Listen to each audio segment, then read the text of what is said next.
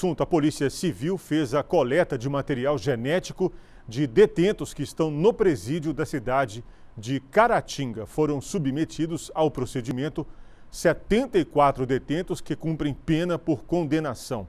O DNA coletado vai integrar o Banco Nacional de Perfis Genéticos. As atividades foram realizadas nos dias 27 e 28 desse mês e contou com o apoio da Polícia Penal. Para julho, estão programadas 55 coletas no presídio de Inhapim. A coleta de material biológico abrange pessoas condenadas. O delegado regional Ivan Salles reforça a importância da continuidade dessa coleta que auxilia na apuração de diversos crimes, vez que o cruzamento do DNA pode ser uma prova incontestável de que o investigado esteve na cena do crime.